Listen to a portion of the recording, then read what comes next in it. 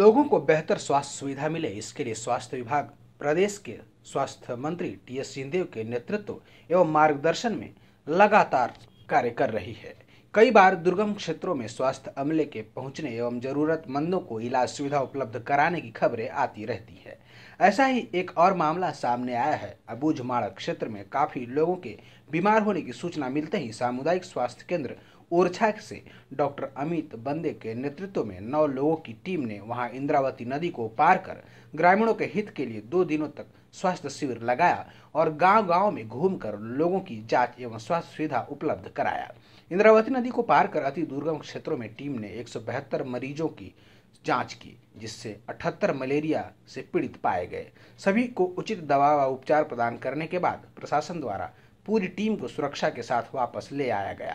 स्वास्थ्य कर्मियों के इस सेवा के लिए स्वास्थ्य मंत्री टी एस सिंहदेव ने सभी को उत्साहवर्धन किया तथा सभी स्वास्थ्य कर्मियों के इस जज्बे को सलाम किया है।